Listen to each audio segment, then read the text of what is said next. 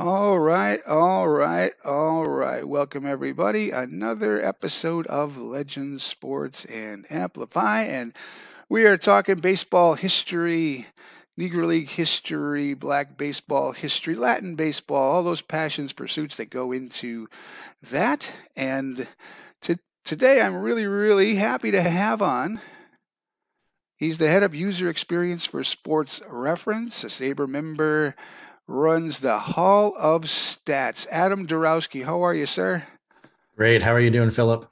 Good, Adam. Good, Adam. I appreciate you taking the time. This will be a lot of fun. I, I, I, before we got started here, I told you why I'm doing this, trying to provide the context and and the backstory and get as many different viewpoints, particularly on black baseball history in the Negro Leagues. And you know, you guys with sports reference, baseball reference have been in the middle of a lot of that recently, right? Mm-hmm. Uh, so tell us a little bit before we get started on some of those things, a little bit about you, how you, uh, I mean, everybody's got a, a, an origin story, a backstory too, uh, as far as baseball, you know, you get it in your blood, you, you get all that passion for it, sports in general, even. And uh, I love hearing how people get to where they are in their journey. And here, here we are talking today.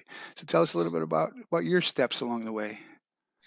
Oh boy, uh, yeah, we can go way back. I, I was the kid that uh, maybe wasn't the uh, best player uh, at all. Uh, I, I looked like your uh, your typical like veteran catcher when I was 11 years old. I, I couldn't hit. You know, I like to be smart about the game, but you know, definitely physical limitations. So that that really uh, lended itself well to devouring the backs of baseball cards and baseball registers and reading about the history of the game, and that led me to like baseball simulators, like yeah. Earl Weaver baseball very early on for me. I know you're an out of the park guy. I oh, a, I played Strat-O-Matic and APBA and I uh, Earl Weaver, Statis Pro, you name it, whatever whatever had a baseball game to it. Yeah, extra innings, oh, all yeah. kinds of different ones. Yeah.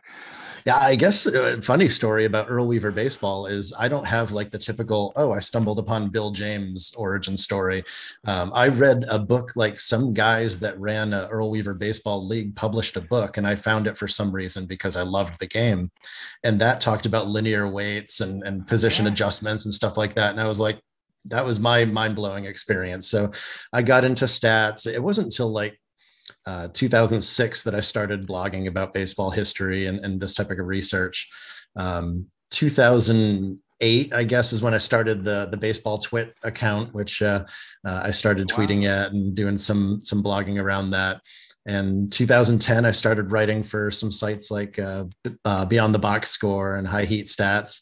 Cool. And all of that research I was doing there led me to uh, launching the the Hall of Stats, which has kind of been my my pet project uh, in baseball, which is an alternate Hall of Fame populated by a mathematical formula. So it uses WAR and wins above replacement, and some adjustments that uh, it adds to it to to give every player in history a single number and then it boots everybody out of the Hall of Fame and repopulates it just by that number. So it's a it's an interesting starting point for some of these discussions of, of who should be in the Hall of Fame. And shortly after that, I actually started uh, contracting for Sports Reference uh, as a design consultant.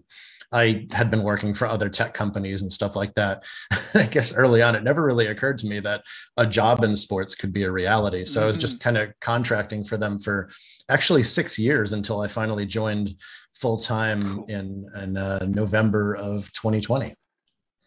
That is awesome. That is awesome. I mean, I, I hats off to you, man. I, am glad you got where you got to, and whatever else, keep on going. Just keep on going. Keep at it. You know, that's that's the yeah. uh, the fun thing about it. And you know, I, I mentioned to you briefly um, as I started doing these to try to provide the context to the Negro Leagues and just just help, try to help tell the stories. Whoever will whoever will listen, I'll talk to. Right. Uh, whoever will talk to me, I'll listen to. You know, kind of thing. But the stories are important, and and I think um, the stats are important, and and you know, baseball reference, uh, sports reference in general. Man, oh man, there are people who I mean, you you know, you know, there are people who swear by those by those numbers. Uh, I always tell my kids, I got three boys, and uh, one in the Navy, one in college, one who's five. but so they're all over the place. But but you know, the world is math. Math right. math drives everything. It doesn't matter what it is in some way, shape, or form, right? And baseball, probably of of all the sports, as crazy as it all is over the over the eras and, and seasons, it is baseball fans are statistical junkies, right?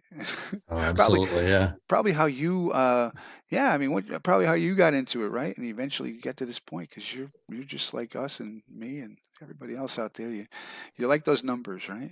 I stumbled upon Baseball Reference literally in in 2000 when it launched. I remember being at work. It was my first job out of college, mm-hmm. and I was like, "Oh, this is how I'm going to kill all of my time ever at work, going through Baseball Reference for the next two decades." But it absolutely is what it is. But now, you know, that that's actually the job. So I, cool. I'm very much professionally living the dream. I I, I definitely see that and, and appreciate it.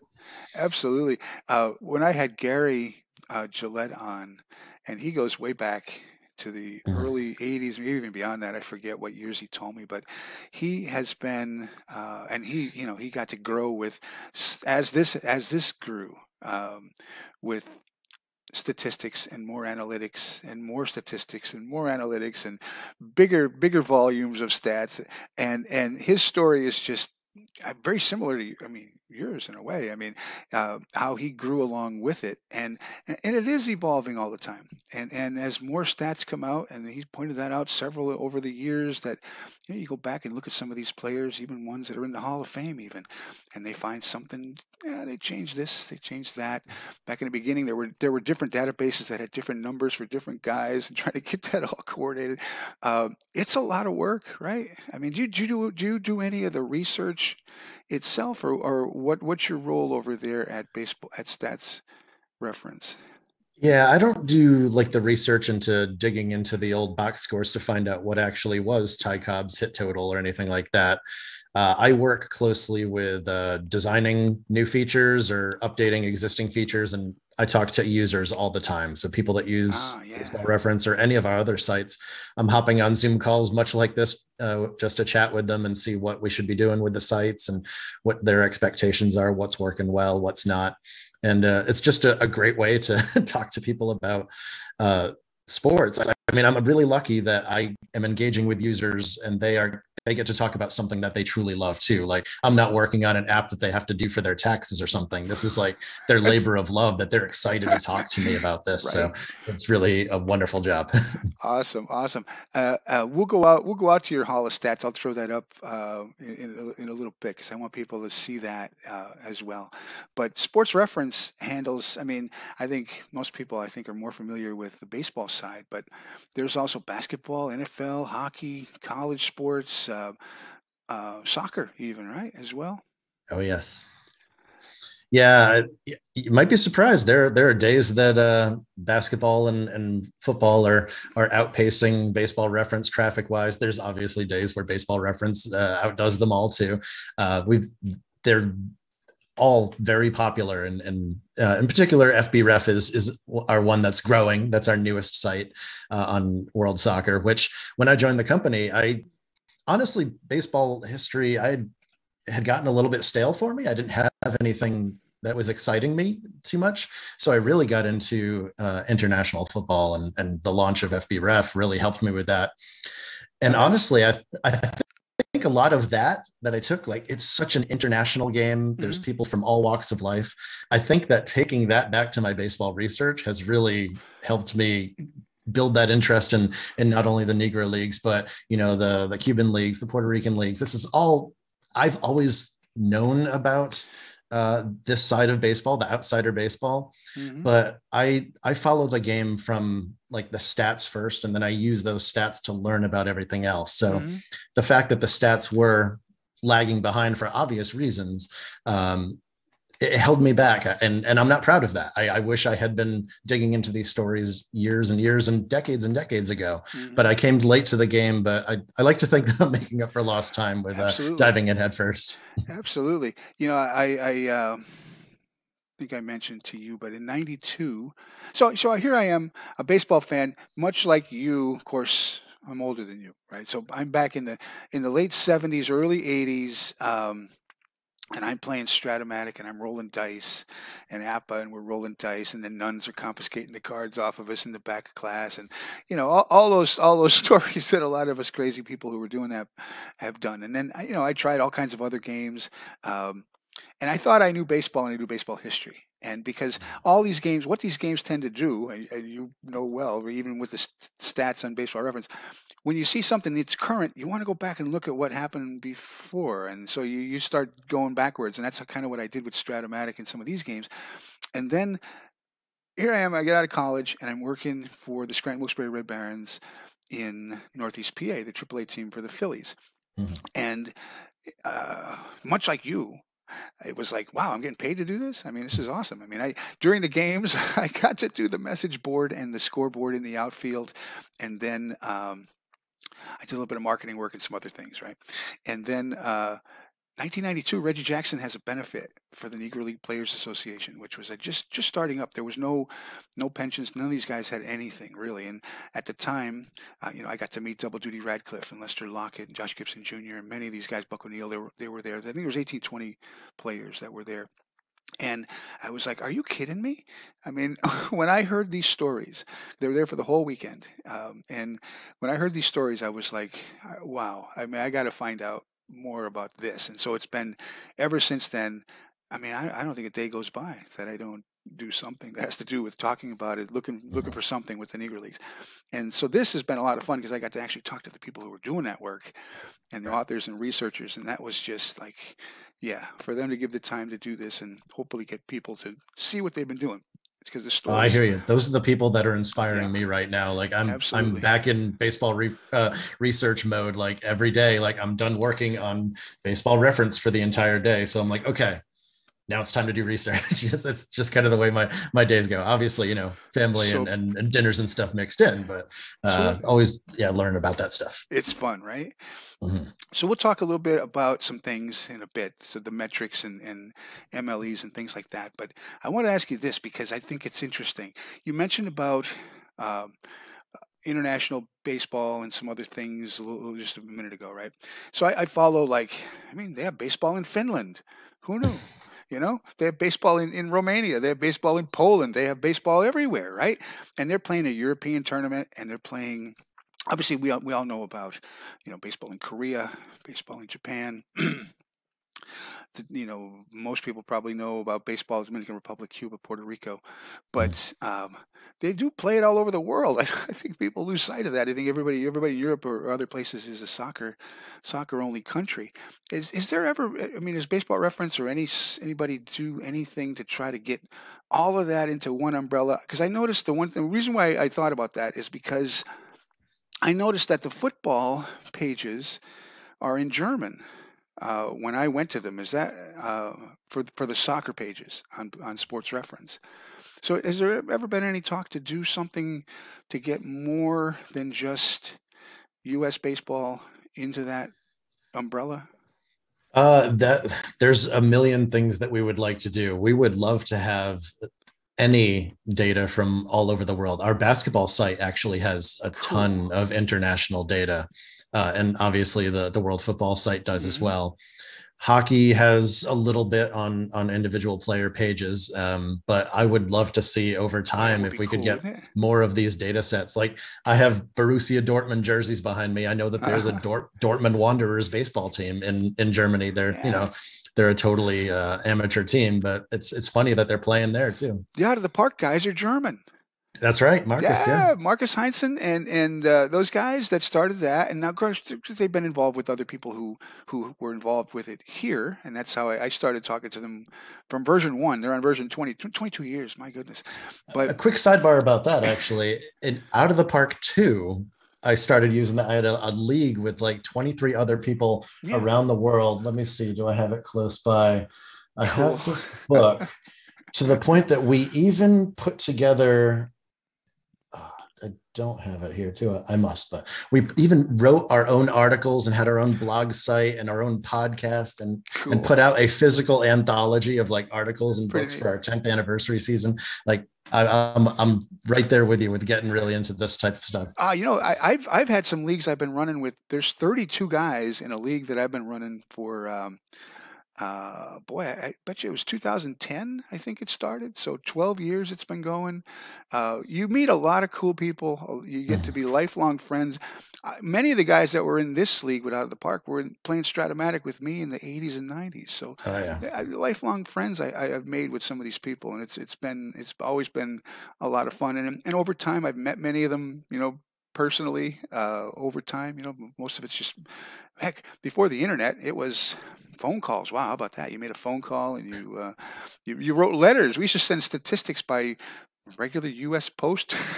you know, put stick it in an envelope and mail it, and that's how we compiled our stats. It was you know crazy days back in those days. You know. Yeah, we would take our baseball cards, pick players, punch all of those into Earl Weaver baseball, and then like have games played and like my friend down the street would print out oh, all the results with his dot matrix printer and hand them out on the bus mm-hmm. like that's the type of stuff we were doing over time there's guys doing that the they're still rolling the dice uh, that i follow a little bit um, APBA uh, Stratomatic that they're still rolling the dice and doing writing the box scores. And I still, I don't know if you can see it, I still have the writing callus from uh, uh, probably 10,000 box scores that I've handwriting them for decades, you know.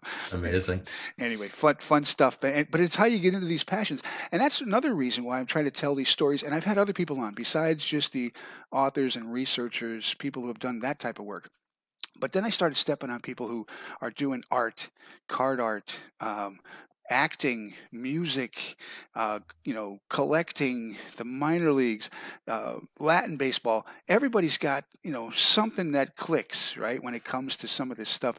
Not just with baseball, but you know the Negro leagues, and and it's just been uh, really fun to try to get some of those people in front. Children's books, because I think you know where's the next generation?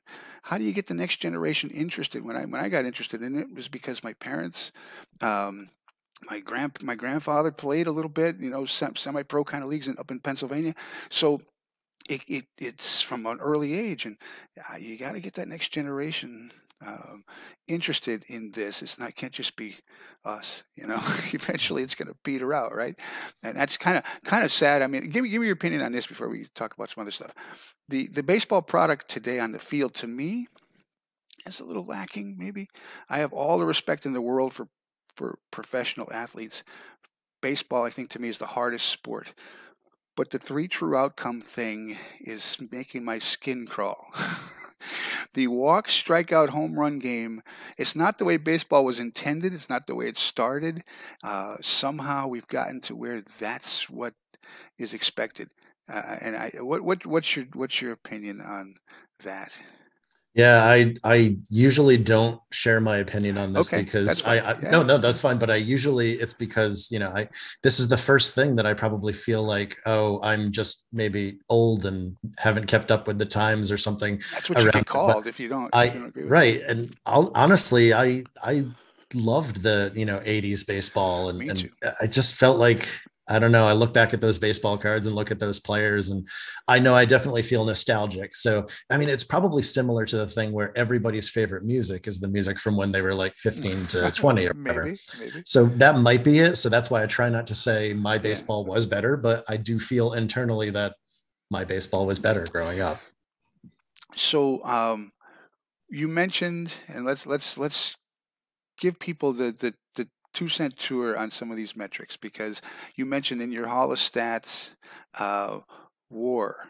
Now, to me, you know, I'm kind of war. You know, I, am I'm, I'm like the song. What is it good for? You know, because there, there's not only is it kind of nebulous. There's many wars, right? On top of that, there's F wars and this war and that war. So, g- give us the, the, the 10 cent tour of war and what is it good for? I mean, there, there's really two main wars. There's the baseball reference and the Fangraphs type. And honestly, for position players, they're they're pretty darn similar. The only difference is the defensive metric that they use. So any variation is because of that.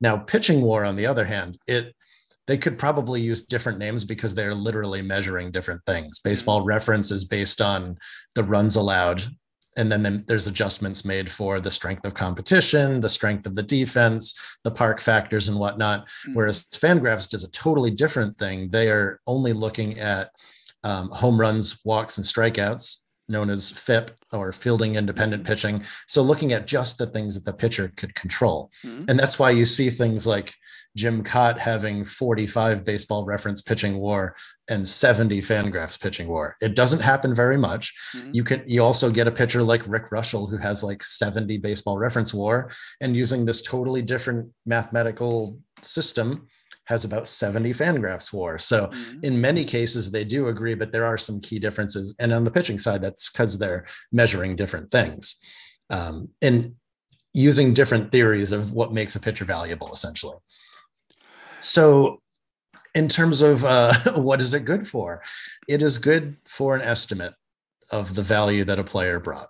Mhm. and i think that it's very important to start there. Like i I, maybe in my younger days, I felt like the Hall of Stats, you know, that that's the way the Hall of Fame should be. It should be Mhm. just by these numbers. And if you're not in the Hall of Stats, kick them out, replace them with these other guys. I've definitely changed my views since then. I know that there are other things involved. There are things that are Mhm. not captured in the formulas. There are things that uh, there are other reasons besides the stats that players deserve to be remembered. I mean, I very much feel like a very inclusive Hall of Fame is is what we should have because I don't know that I don't understand the people who want to like it's a it should be a small hall only the very best should get in like what's the fun in that like why only celebrate and remember a very small handful of players like Mhm. I want to I want to remember like so many of the great players from when I was younger and, and learn about the great players from other eras. So Mhm. that's been my my uh my theory on the Hall of Fame. So wins above replacement and wins above average. Uh, I don't know if you want me to explain the difference. Sure, so wins above average, um, it is really just the the number of wins that the player provided above the average player. Now, the the reason that wins above replacement is much more common is because these days a average player is not someone that's freely available. So you can't just say, "Oh, he was only two wins above average. We should just get another average, Mhm. pl- or he wasn't even average. We should just get another average player." Mhm. You can't just get another average player. Those are very valuable commodities that are making like you know 14 million dollars a year or something like that. That's just a guess. I don't. It could be even more now. So wins above replacement tends uh, it tries to take wins above average and adjust it down to what that freely available player would be. Like if a player is not even replacement level, yes, you can go and take a uh, you know the quad A slugger off of the the AAA team and and bring him up and expect to get that type of production. Mhm. So wins above average, I, I find that that measures a player's peak a little bit more, whereas wins above replacement, you compile uh, also for just kind of showing up and being better than a replacement level player year after year. So Mhm. a a good explanation might be Omar Vizquel. You know, he's he was an above average player for 24 years, but wins above average only has him at like five wins above average for his entire career. Mhm. And his wins above replacement is more like 45. Uh, now, Nomar Garciaparra, his wins above replacement are something like 44, I think, but his wins above average is like 22 Mhm. and like how is that possible well he had a much shorter career so uh, Ah. omar vizquel you know he built up the value but then he also had s- several years that he was below average at the end and it kind of took away some of that value whereas nomar Garciaparra built up all that value and then he was done and he didn't Mhm. really have that decline phase that that took it down Cool. That's interesting. That's an interesting um, perspective. I think um, the um, the thing that I've seen, uh, if you can just run through this, MLEs have evolved over time, as most statistics and things have. So tell us tell us what an MLE is and why that's important.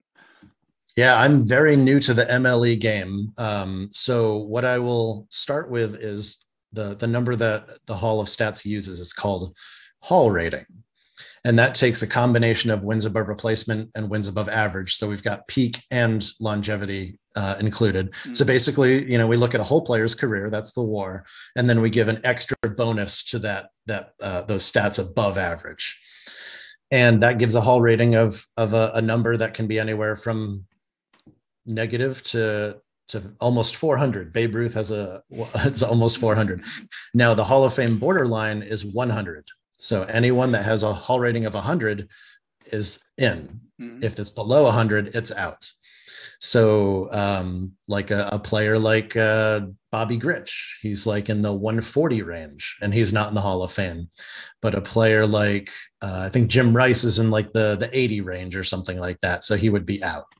So that, that gives a, an example of of how that works. Now the MLEs, uh, Eric Chalek, who you had on, he produces MLEs that uh, include wins above replacement and wins above average. So what I did was I just took his MLEs and pumped them into the, the Hall rating system to find out what the Negro League players' Hall ratings would be based on their MLEs. Now, the reason I didn't just use their their uh, their stats on Baseball Reference well, I do provide a, a, Hall rating based on those, but those stats, of course, are very different than the AL and NL stats of the time. The seasons were shorter. Mm-hmm. They played a lot of games that were not covered under those stats against uh, different competition. A lot of times, these players played in different leagues because uh, there was more money, or they played for independent teams because there was more money, or they completely left the country sometimes. Mm-hmm. So, what the MLEs that Eric uh, produces uh, does is it even takes those seasons and tries to provide a, a estimate of what these players would have done if they were in the AL slash NL system. So that's why I felt the better approach for the Hall of Stats rather than saying like I'll just pull up John Beckwith for example. He's one of my favorites outside mm-hmm. of the mm-hmm. Hall of Fame absolute masher of a player. Mm-hmm. If you look at his Hall rating simply by um, his stats that are on baseball reference of course it's not going to load right now for me well i think he would probably end up you know he's he's not even at 100 and that that's it's not a great uh, mm-hmm. way to capture the impact that he had on the game but if we use the mles that Eric Chalek created he has a 167 which is all right, now it finally came up. He has a 64 Hall rating just from his baseball reference stats because, you know, they're short seasons and incomplete data, but 167 based on the MLEs. Mm-hmm. Now, I'm not just using that because it's higher and I want to, you know, push the the cases of of Hall of Fame candidates for the Negro Leagues. I'm using because it's a more accurate picture of what their career would have looked like if they were in the AL and NL system. I put a lot of thought into like should I be using estimates for the Negro League players? Should I? I, I felt very strongly that the Negro League players needed to be on the Hall of Stats, mm-hmm. and I wanted to. I don't want to keep them separate again mm-hmm. because that's what was done to them the first time. Mm-hmm. But in this case, when I needed to build what their Hall of Fame case should look like. It wasn't fair to them to combine them with the other players. They really needed to have their own system. And I feel like this works much better than having someone look at at Josh uh, at John Beckwith's numbers and thinking he's not a Hall of Famer. So how do you? So okay, that's a great summary. Uh, how how do you answer this? Um, so obviously, like we've you just talked about, I've talked about, the Negro Leagues had their own, um, and Black Baseball had their own ecosystem, their own multiverse. They were playing um, league games sometimes. Sometimes they were playing uh, non league games against league teams. Sometimes they were playing non league games against um, major league teams, mixes of teams, the firehouse team, so many different things. Then, like you mentioned, overseas, they go overseas, all that kind of thing, right? But now, technically, they are major leagues, right? They are major leagues, just like the Union Association and the Federal League and and and the others that are included in in Major League Baseball. So how how does it square, right? When you think of this, right? Um, much of what I hear about the Negro Leagues is because they didn't play against Major League Baseball in league games, it's hard to, you know, get a gauge on, on how they would do, right? But until 1997, neither did Babe Ruth and the American League. They mm-hmm. didn't play against the National League in regular season games ever. They played a handful of games, maybe four, maybe seven max. That was it, right? So how you know nobody ever talks about uh, do we need an MLE that says Babe Ruth should be this because he didn't play against the National League? And I've had that question asked me because technically it's true, right? I mean, they didn't play all those years. And on top of that, they didn't include Latin and, and uh, African American players. Uh, mm-hmm. anybody with dark skin for all those years. So how do you how do you square all that? That to to me, um, they're all valid points because, yeah, fact was Babe Ruth didn't play anybody in the National League until the World Series. So what, what do you, how do you square all of that for somebody? Yeah, that that's that's tough. There's there's a lot of different pieces to that. I mean, right. there are seasons decades ago where, and Scott Simkus, who you had on his book, even uh, points this out too, where the the strength of the AL and NL mm-hmm. were wildly different in the same year. And there were plenty of years like that, and I think we even saw that too. There was uh, what a two decade span where the the NL absolutely dominated the All Star game. Mm-hmm mainly because they had a lot of they had a lot of players right. coming out of the Negro leagues in Latin yeah, America. I was going right? to say, why is that? Yeah. why would that be, right? Yeah, yeah. No, it, it it's tough. I mean, and I, I get like I said, I get asked this. I, I see these comments. I hear all these things, and and it's all it's all valid, right? So okay, the one the one guy who to me. Um, I, I don't know. You look if you're looking at body of work, right?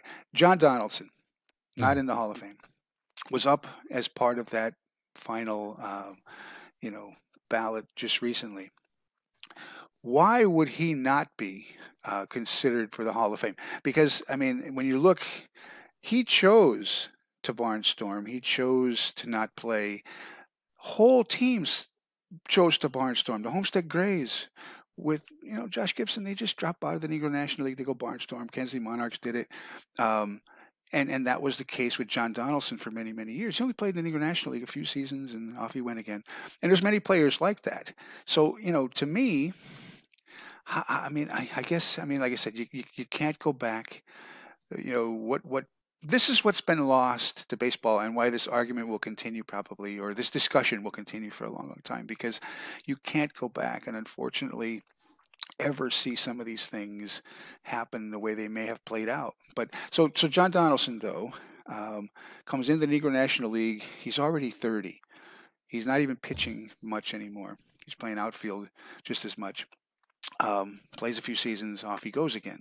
So his body of work, though, um, how, how, do you? How, I mean, to me, he's got a strong, as strong a case as anybody. If he had been given the opportunity um, to maybe be in there, I don't know. I don't know. Yeah, I think he's a great way to describe my evolution on everything. He's been the most difficult candidate for me to to get a grasp on. Yeah. And the reason is, you know, I started as soon as Baseball Reference put this data up, I I was all over it, and his seasons in the Negro Major Leagues on Baseball Reference, well, they're not impressive. His pitching, I mean, actually, his first year he did actually lead the league in in FIP, but uh, his his record was six and six. He had a three point seven eight ERA, and the next year he pitched in eight games and was done. He actually hung on a few years, like you mentioned, as a hitter, and was an above average hitter, which I don't think people give John Donaldson enough credit for. Like mm-hmm. he was, he was a great all around player, yeah. Yeah. But the thing is, like, so I was like, you know, he's he's he just doesn't have the numbers. You know, this was supposed to be his prime, like 29 to 33, and it just isn't there. But the more I learned about him, the more I realized it was the seasons before that mm-hmm. where he was barnstorming and he was making his money doing what he needed to do because it didn't even have Negro major leagues yet. Mm-hmm. So, you know, Rube Foster hadn't uh, organized the, the Negro National League. So he's going around the country getting the money that he can, yeah. pitching every day and by the time he makes it to, to the Monarchs in 1920, that arm is burnt out. Mm-hmm. That arm has done a lot of pitching. So the MLEs, I, I didn't know exactly what to, to make of them at first because his his uh, Hall rating actually comes out to 50 out of 100. So the reason why is because there are only a few seasons that are included. Mm-hmm. Those seasons are very good in the MLEs, but it just doesn't last long. And mm-hmm. because they're against weaker competition, mm-hmm. it does downgrade the numbers some more. Mm-hmm. So uh, it took me to kind of shift my thinking and say, well, he doesn't have to be in as a player. Like John Donaldson could be the pioneer of the barnstorming. And he was he was one of the ones that paved the way for you know the things that Satchel Satchel Paige came and did later, and so many other players came and did later. Mm-hmm. So he had a very brief career that you know you know burned very brightly, and then it, it looks like what happened is his arm just gave out under all of that strain. Mm-hmm. But the things he did were, I mean, we have all of these documented wins and strikeouts, but yes, they were against lesser competition. So that's um, very hard to translate.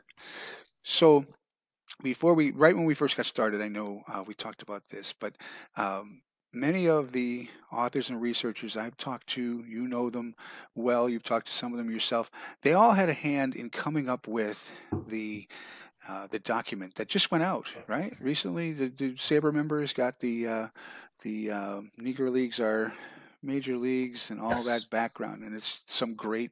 It's, I mean, it's incredible. It gives a lot of great context. Um, the stories of these guys are are really uh, really important, and and you know that was. And I'm not sure, you know, if you were involved in that process with with baseball reference, but didn't they take a look at some of that as well? Not just the numbers when they came to their decision to to go ahead and add the uh, statistics. Yeah, that project. I mean, first of all, it was the most fulfilling project I've ever been a part of in my professional career. It was just unbelievable. So it all started um, a few months before I joined full time. Uh, ben Lindbergh wrote his piece in the Ringer, essentially asking the question, like, why aren't the Negro Leagues major leagues? Yeah. So that's what got the ball rolling for us, and we started, you know, looking into how we could do this.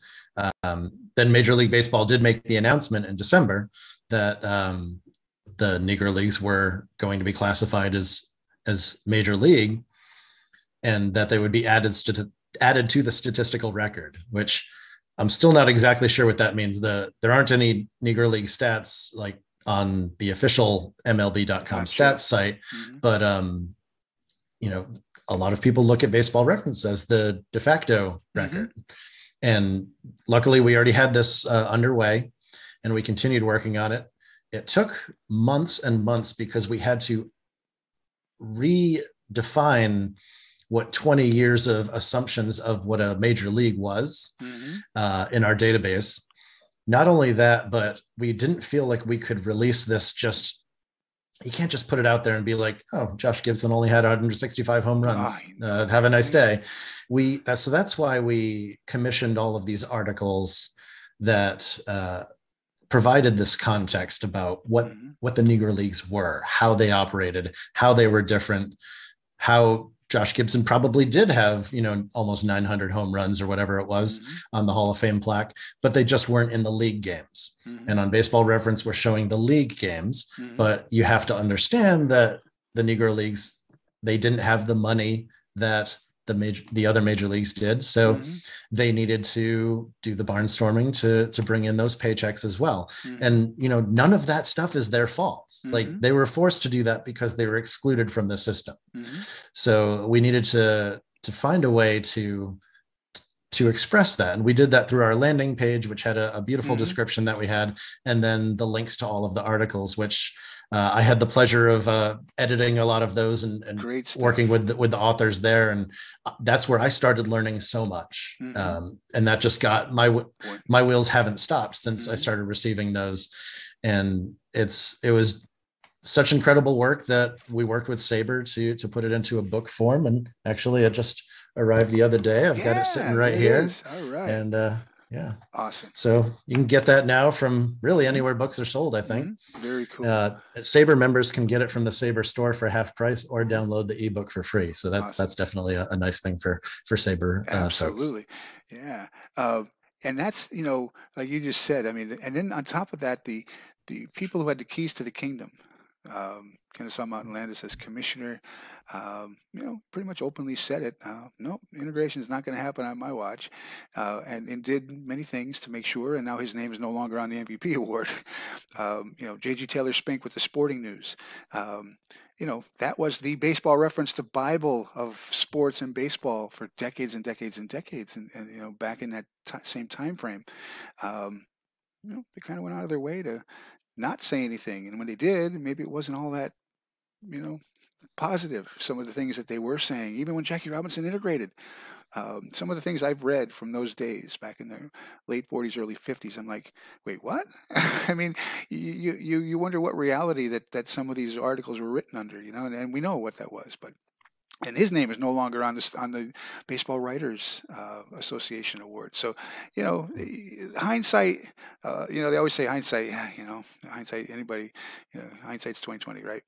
But in some cases, you have to kind of go back and correct the record. And it's just, I'm just glad that at at Baseball Reference, Major Baseball, they they did these things because it, it really it's it's opened up a whole nother. Um, you know, I think a great opportunity for people to learn about a lot of things that they maybe didn't know about before because nobody's really talking about it, you know. Um, I'm very proud to work for a company like Sports Reference that has yeah. the, these values because I get the messages cool. too from people that say, you know, I don't think that the Negro League stats should be, you know, mixed into StatHead. They're getting in the way. No, I, I get people saying, you know, I don't want to have WNBA content in my NBA newsletter. You know, make that a separate thing. No, these are these are things that we have taken a stance as a company that awesome. they these underserved communities. Uh, whether it's you know black baseball or women's sports uh, mm-hmm. these are very important to us and we want to have a part in helping them grow so. Awesome. Uh, you know the other thing I, I, try to point out on all these things and I, and I, for for this lockout and we're on day what like 50 now ish i don't know we're somewhere in there 49 something like that. But the um, uh, I, I, started doing a little project with Out of the Park where I was just tracking through baseball history, starting in 1871, telling the stories about, you know, the teams letting the game do all the handling. But I integrated it from the beginning so you could see these guys playing, mm-hmm. right? It's been kind of fun to see these numbers as they populate in there and how many wins Smokey Joe Williams gets pitching for the Brooklyn Dodgers. It was very, very cool. But I, and I'm in 1925 now. Um, so I've been doing a couple of seasons every day. Uh, but um, one of the things I try to point out too is how the game has changed. And when people started saying to me, why are we putting these Negro League stats in there? Well, wait a minute. You're okay with Tim Keefe, who was pitching underhand back in 1880, having the lowest ERA. That was fine, but don't let those black guys, no, don't let them have their stats in there. The game has changed so much from the beginning and i try to track through all these rule changes and mound just you know the people today freaking out about you know they, they experimented with moving the mound back six inches in like rookie league or pioneer league or something. They moved it back five and a half feet in 1894 i mean five and a half feet. Exactly. they moved it back because Amos Rusie was almost killing people uh, so they, they had to do something about it. This is the way the game evolves and changes, and there's always that little push and shove between who's, you know, trying to get one up on the other, whether it's offense, defense, or whatever. I'll tell you what. One way one way they can get the game back to uh, a little bit more I don't want to say normal because it's never been normal, but you, you, know what I'm saying. One way to get the to get that back is let let's cut the roster size down to like 17 or 15, like it used to be back in. And this way, you're not running a pitcher out there that's throwing 102 every pitch for the whole nine exactly, innings, you yeah. know, because it was a different game, right? I mean, you, you, you know how the game has tracked and why were pitchers only throwing um, in the 80s or 90s? Because you know what? They can't throw 100 every day. and throw 120 pitches every day. It's it's just basically impossible.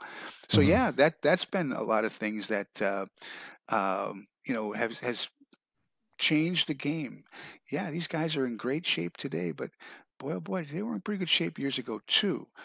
But it was apples and oranges the way the game uh, is played. So anyway, uh, the other the other thing I find interesting about baseball history is with the Negro Leagues, how many high level figures whether they be Hall of Fame players, Ted Williams with his famous speech about the Hall of Fame, but um, you know John McGraw always talking about how good these Negro League players were. You know, it's kind of like where there's smoke, there's fire. You know, they, mm-hmm. they had, they're, they're not gaining anything by saying these things. Um, so that should have. I mean, did they take into account any of that with Baseball Reference as far as those? Is that all part of that documentation? Um, the the the way their contemporaries viewed these guys over the years? Um, I'm sure I, I forget exactly if if the way like John, you know, it's it's tough with John McGraw because he had, you know, he supposedly had his list of of players that he would he would certainly bring on if if he was allowed to, but at the same time, he also has questionable racist past too. So I, I, I have a hard time figuring out who to who to like essentially from that era of white baseball. It's it's tough uh, finding you know allies through through all of this. Uh, I, I assume that some of the articles did refer to some of the the contemporary uh, thoughts. I, I forget exactly if if they did though. Mm, because it, it's important. I mean, these guys had no reason to be saying. I mean, that, that's what really got the ball rolling on a lot of the Negro League uh, research. And, and back in the '70s was Ted Williams's speech. Mm-hmm. Yeah, and and Todd Peterson's uh, article that he put up for it has all all of the the individual results from Negro League teams playing against major league teams and, and things like that. So there's there's certainly those statistical accounts of, of how they stacked up as well. So let's let's go on out to the uh, the Hall of Stats here. I'm going to uh, I'm going to pull up your um, web page and let people see that. One second, because I think it's it's definitely something that. Um, baseball fans of all of all ages and and interests could probably appreciate you know so we are here at the Hall of hallofstats.com uh, i started on the negro league page let me go to the um, to your uh, main page and you know like i said i've had this i've been asked this question so many times too um, about well, is it the Hall of Fame or is it the Hall of Stats? And and yes, there are many guys in the Hall of Fame where you got to scratch your head and go, hmm, yeah, you know, why is Freddie Lindstrom and Rabbit Maranville and Burleigh Grimes and some of these guys, how'd they get in there? And many of them, you know, we just talked about John McGraw. Many of them have a tie to John McGraw. And and if you were tied with John McGraw or uh, who else was in there? Freddie, Frankie Frisch got a lot Frankie, of guys yeah. in there. Yeah, they had a lot of pull, and they had a lot of their boys got uh, got put in there if you had ties to those teams. But so walk us through what we're seeing here on the uh, Hall of Stats. I'm on the um, I'm on the main page. You've got um, similarity scores, the formula. Uh, how many people you got working with you on this? Uh, it, it's really just me now. I do have a couple of friends that uh, are developers okay. I've worked with over the years that help me out if I'm trying to add something and, and can't quite do it myself. But for the most part, I'm working on it myself. They they played a huge part with helping uh, set it up at the beginning. That's Jeffrey Chupp and, and Michael Berkowitz. They they built a lot of the early features, but also built it in a way that I can add things pretty easily now, which is nice. Cool, cool. And you've got a whole entire section donated to the Negro Leagues on here, right? Let me go back here. Yeah, at the at the very top of the page, if you click on MLEs, that's where the okay. the Negro League MLEs I, are. I knew I saw it somewhere. And how often you updating this? Um, well, it just updated for the first time right around the new year, but I also that was uh, with like 114 players and uh, Eric Chalek provided a bunch more MLEs, and now there's over 400 Negro League players on there now. Some of them are not even, they weren't even on the site before because they never appeared in the quote unquote major leagues. You know, that so, would be. Um, I see you got Joe, Smokey Joe Williams listed number one. And yeah, it's score, interesting to see him above Satchel Paige, huh? Well, yeah, I mean, but you know what's interesting about it is I'm looking at the career years you got here for him, 1923 to 32. I mean, he was pitching back more like starting like 1905. right. Yeah, you that's know, one of those. His career goes uh... way back there. Imagine what what would his number be if he was able to have pitched in organized. Uh, you know yeah the 23 to 32 is actually his years that he was in the negro major mm-hmm. leagues mm-hmm. so his I, have wondered if maybe on this page i should actually replace it with the years that their ah, mles gotcha. come from gotcha, which gotcha. Uh, let me see what years those would be his years that his mles come from are 1907 yeah, to 1930 yeah so. there you go i knew i knew yeah he was much earlier than that because he was pitching for some of the great great um, you know early teams of the aughts and teens, well mm-hmm. before he got to the Negro National League. Yeah, Pop Lloyd, kind of the same way, right? 1921, but he was more closer to 1900 than 1921, right. right? Boy, oh boy, yeah, that's what makes this so hard. Boy, yeah, oh his boy. MLEs start in 06. Pop Lloyd's? Yeah. Yeah, no, I, I get it. I mean, boy, oh boy, it, it like I said, it, it's a multiverse. I mean, I, I my my my little guy loves that Spider-Man cartoon that's got all the different Spider-Man that come from all over the different universes, and that's kind of what. And, and it was it was it's actually Stephen Greenis that used that term. I kind of like it. That's what the Negro Leagues were. They had different different Spider-Men for different depending on what type of game they were playing. And imagine, right? I mean, playing two and three games on some days on the weekend and traveling in between. And then they had to get out of town by sundown because of uh, whatever circumstances they were dealing with. You know, the white players may have done some barnstorming, but mm-hmm. nobody mm. had to live under those conditions. Um, on a day-to-day basis and you know I, boy every time i hear somebody say something and, and I, am I'm I'm I'm good. I, I, like I like to hear a healthy discussion, but let's let's see today if people could handle what some of these guys had to deal with back in 1920, 1930. You know.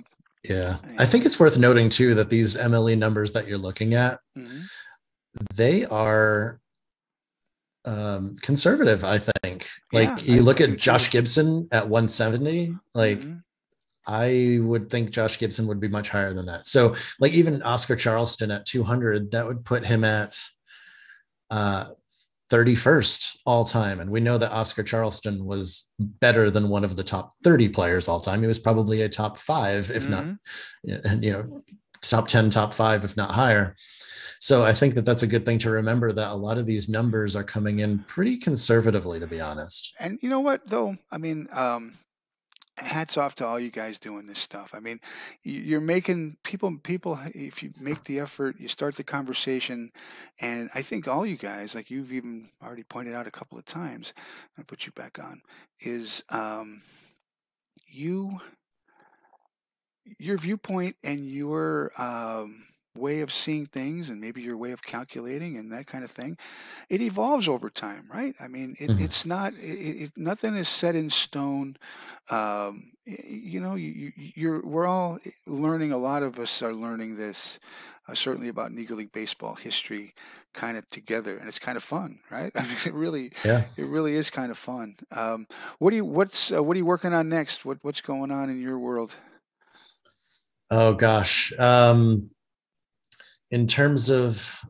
you know there's there's a lot of learning um, and a lot of uh, podcast episodes that are coming from that learning actually mm-hmm. i would love to to get uh, Gary Ashwill on to chat about some of these latin mm-hmm. players because you know i was going through you know it was boy, oh boy. you know you see some of these uh mles you see people outside of the hall of fame like john beckwith at 167 or heavy johnson at 146 but then uh, i'll admit when i got to uh, Julian Castillo at at 102 above the Hall of Fame line, I was like, wait, who? I, so I could. he is the single season batting average record holder. I'm scrolling down your list here trying to find Tetelo Vargas, and I'm not even seeing him. Yeah, Vargas is down listed. at 70, actually. Is he? Okay. Yeah, which yeah, I, I, feel like that's probably a little uh, conservative on on him. Uh, I don't even see him there. I see uh, Webster McDonald is listed 70 there, but let me see. Oh, uh, he, his Hall rating is 70, oh, so gotcha. he's just a few slots 75. below that. Gotcha. Okay, yeah. gotcha. Oh, yeah, okay, gotcha, gotcha. Yeah, now I see him. Uh, and so there, there's, I mean, those types of guys are great examples, especially um, the players who, you know, like a Wild Bill Wright, who uh, hmm. pretty much exits U.S. baseball and stays in Mexico. Uh, but if he had stayed, um, would have been a phenomenal player. Um, you know, had he in, in, in, the years he did play, were uh, notable. There's many like that. I mean, you know, I, I put out something today about um, a player that you know as i'm poking through i have a database of probably 200000 guys that some of it's from um, the out of the park stuff some of it's stuff that i've compiled and add in there over the years you know how that goes right and mm-hmm. when i um, I dig through to find something for the day. I'm trying to track along with where I'm at in that little simulation, and I came across um, Enrique Lantigua, And I'm like, who's this guy? Right? I mean, just for the heck of it. And I look, he played one season, like a handful of games for the New York Cubans in 1935. And then I go look at his story, and it's like, oh my God, you could make a movie out of this guy's life. I know, I saw I mean, that. it's was- like, are you kidding me? I mean, you you literally could have make a movie out of that guy's life, and no one's ever heard of him. And he played about five games in the Negro Leagues, um, but was a notable player. And boy, oh boy, it, it- that's something I guess you just can never put your finger on because many of these guys choose to. They don't. Everybody wants to come here now, right? I mean, Mhm. there's 200 camps down in the Dominican, and and they're signing these kids at 12 years old to three million dollar signing bonuses at 12 years old now. You know, uh, they um, was not the case back in in these days we're talking about the 20s, the 30s, maybe before that, because of what they had to deal with. And so, you know, you wonder how much baseball and and baseball fans missed out on on a player like him. Not I'm not saying he would have been a star, and that's the thing too, right? No one is saying every single ma- Negro League baseball black baseball player would have been replacing all of them. No, no, you know, there's going to be a chunk of a percent of them. 20 to 40 percent probably that would have made the majors replacing the Mhm. 20 to 40 percent that would have been taken out of major league baseball and off you go and how they do some of those guys are going to be cups of coffee some of them are going to be the smokey joe williamses and the Satchel Paiges and that's the way baseball in history is um, but they never got that opportunity and it's a shame so Right. Yeah, the Negro Major Leagues spanned from 1920 to 1948. That's 29 years.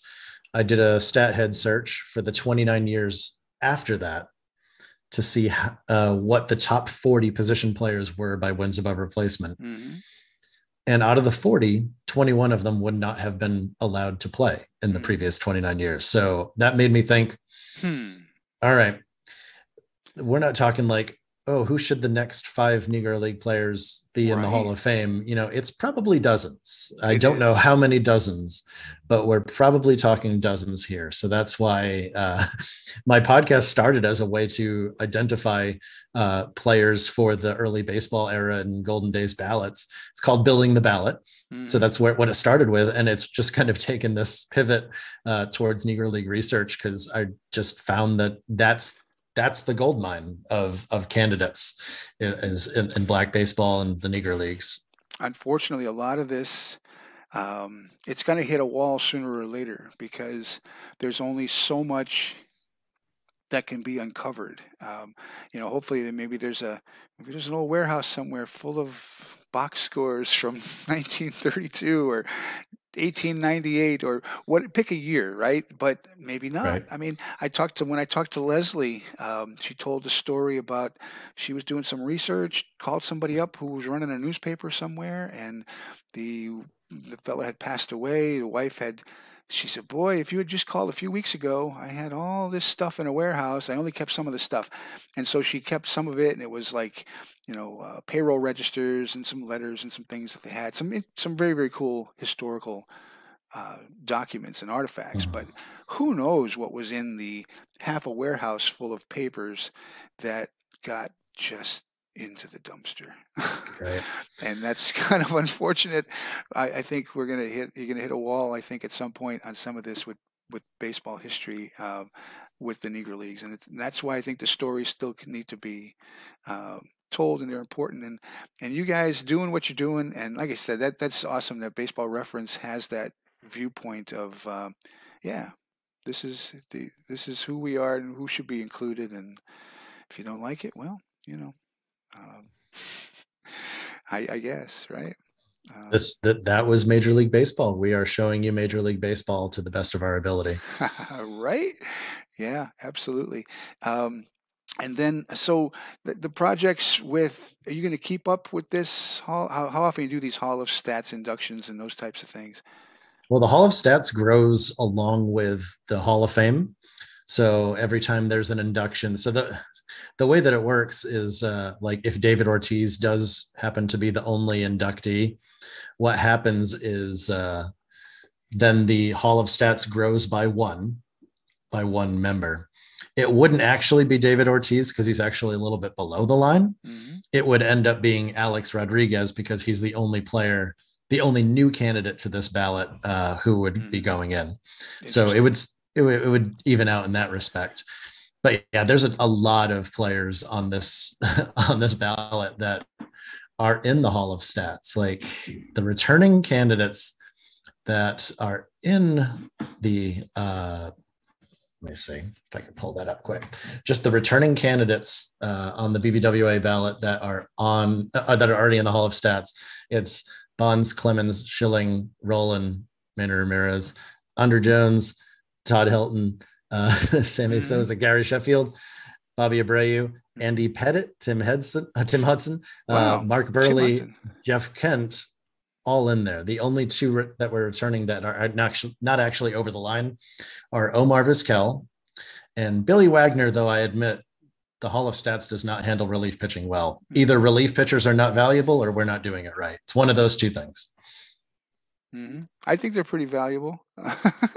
I've always, all my all my uh, doesn't matter what league I'm playing in for as long as I've been playing. I've always like you got to have that closer. You got to have somebody to come shut the door. Mm. you know, and you're right. Maybe there there's not a not an easy way to put a value on that um, historically, but uh, uh, who would you rather have on the mound at the end of a game, Mariano Rivera or Billy Wagner or Jonathan Papelbon, somebody like that, in, in mm-hmm. when they mm-hmm. were closing out games, or somebody else, you know, and they're not that easily replaceable. But you're right; even the Hall of Fame does not handle um, relievers, closers, especially all that well.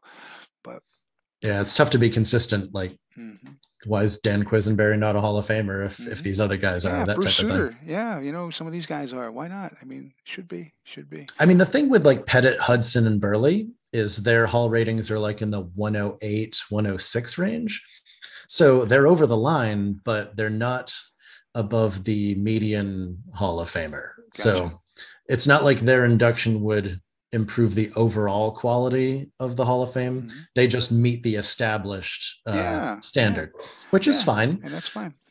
Like Helton, Jones, uh, Ramirez, Rolen, Schilling, Clemens, and Bonds are all over that median, so they would mm-hmm. drastically improve the. Uh, no, it's fun, fun stuff. I, I think I think this kind of stuff is. Uh, uh, it's important because it gives a lot of perspective. People need to see um, different angles. What's pure statistics, what's subjective, what's not. And with the Negro Leagues, you got to take all of that and kind of, you know, wrap your head around a lot of things and then layer more stuff on top of that with, you know, these other issues that we've talked about with the uh, climate, the racial, uh, you know, aspects that they had to deal with, the, the Jim Crow, everything else. And, and you, you really, um, like, like I said, the work that Baseball Reference put out to give that context is just fantastic. I hope people, more people check it out. But I, I appreciate you taking time. This this was a lot of fun. I, like I said, I wanted to get somebody on who could speak from baseball reference for a long, long time uh, as to the reasons and the inner workings because it, it it it set things going in the right direction and it was important. And there's a lot of ongoing work. So keep it up, man. Absolutely, yeah. Keep it up, man. Hats off to you, and um, you take care. Stay safe. Thank you. Lucky to work for a great team that was uh, that did a great job on this project. So Absolutely. thank you very much for having me and discussing this. It's always fun. All right, man. Don't sign off. I'm going to get us off the live. Thank you. Take care.